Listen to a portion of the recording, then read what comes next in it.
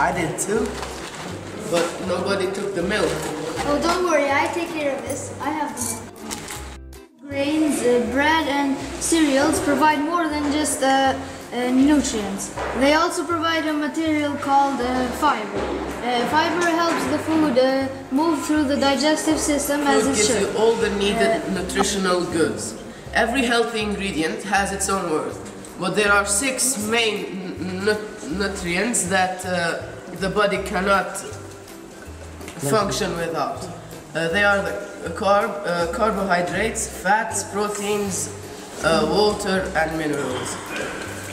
Carbohydrates and fats give you energy. Vitamins and minerals higher your immune system, and water uh, helps remove the, the cell wastes on your body. You can make a range of servings you need each day for most food groups. You have to eat lower numbers of servings. You need to eat more if you have lack of energy or if you are too thin. The, you need to start with additional servings like bread, cereal, rice, pasta, etc. We're talking about cereals. Cereals are very rich in fiber and other nutritions. Uh, corn is a type of a cereal that is very healthy and is very useful for our body.